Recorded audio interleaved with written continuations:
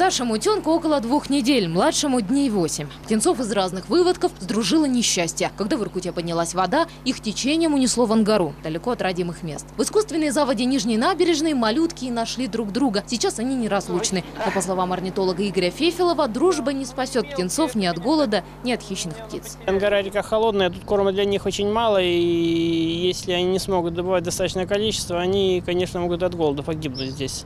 Тем более, что они если здесь и никуда не уплывают, им даже и вылезти посушиться особенно негде.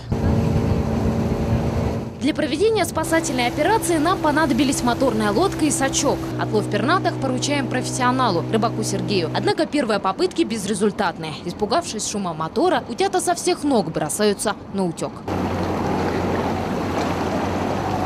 Наконец, на 15-й минуте погони птенцы сдаются. Первым в сачок попадается старший утенок, младший за ним, словно боясь потерять друга. Если бы я взяла в руки взрослую утку, то она и щипала бы меня до синяков. А этот утенок, хотя и очень боится, но ведет себя спокойно, не агрессивно. Характер у него, по словам орнитологов, появится через несколько недель, когда у него начнут проклевываться первые перья. Утят согласились приютить в контактном зоопарке Иркутского ботанического сада. Его работник Иван Сизых подготовил отдельный вольер. Здесь диких птиц одомашнят, научат плавать в искусственном водоеме и есть из кормушки. Попробуем э, покормить их дробленкой. То есть это дробленая пшеница, ячмень, то есть э, те культуры, которые мелко-мелко дробятся, да, чтобы а животные, птицы могли их э, принять. Кличек у птенцов еще нет. В контактном зоопарке планируют объявить конкурс на лучшие имена. Наша съемочная группа предложила назвать одного из утят Аистом. Эта идея всем понравилась. Даже петух прокричал троекратное «Ура!».